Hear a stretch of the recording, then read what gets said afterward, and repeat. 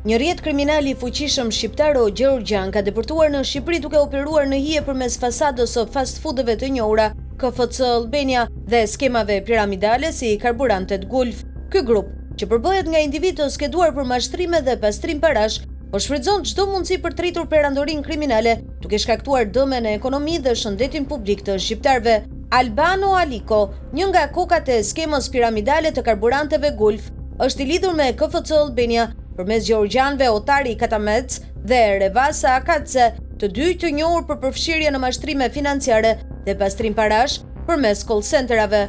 Alban Aliko, Global Fast Food, KFC Albania, u themelua fillimisht në shkurt dy mijë e pesëmbëdhjetë me emrin Dadu, SHPK, nga Alban Aliko dhe Otari Katamec, duke ndarë të njëjtën adresë fizike me piramidën Gulf. Në shtator të po atij viti, Aliko shiti aksionet e tij te Global Fast Foods Limited, një kompani offshore e regjistruar në British Virgin Islands dhe e kontrolluar nga Otari Katamedz. Katamedz më pas, shiti pjesën e tij duke i kaluar pronësinë të njëjtës kompani, duke krijuar kështu një rreth të mbyllur që garanton fshehtësinë dhe paprekshmërinë e këtij grupi kriminal. Por tentakulat e mafiozëve nuk përfundojnë këtu.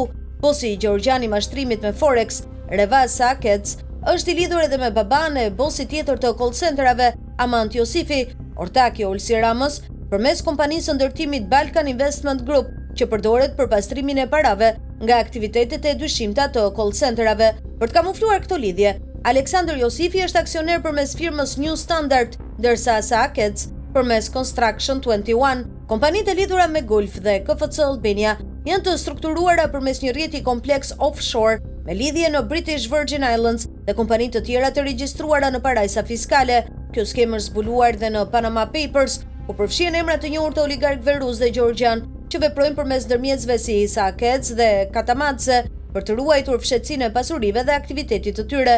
Veprimet e këtij rrjeti kriminal në Shqipëri nuk janë vetëm një kërcënim për shëndetin publik përmes produkteve të infektuara që shiten në KFC, por edhe një goditje për ekonominë përmes skemave piramidale dhe pastrimit të parave. Ky është një grup i strukturuar dhe i mirëorganizuar që vepron në qetësi, i patrazuar nga drejtësia.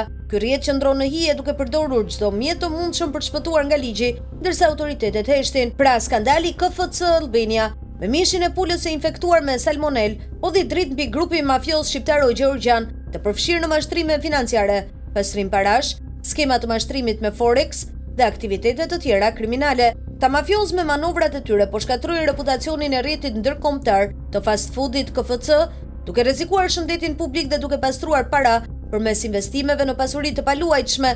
Të gjitha nën maskën e KFC-së. Ky është një rast urgjent që kërkon ndërhyrje të menjëhershme nga drejtësia dhe organet ndërkombëtare për të shpërbërë këtë rrjet të fuqishëm kriminal që po helmon Shqipërinë dhe qytetarët e saj.